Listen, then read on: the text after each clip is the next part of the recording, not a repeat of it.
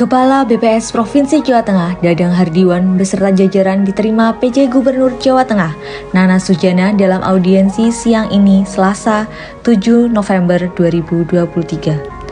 Agenda penting dalam pertemuan ini adalah penyampaian indikator strategis yang sudah dirilis di tahun 2023. Di antaranya, pertumbuhan ekonomi, pengangguran terbuka, inflasi, kemiskinan, hingga data produktivitas padi.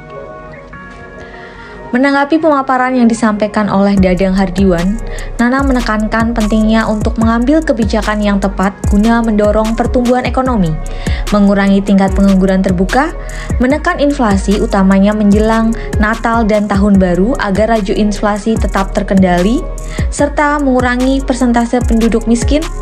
Nana juga menyampaikan pentingnya melakukan monitoring dan evaluasi dengan menggunakan data yang dihasilkan oleh BPS.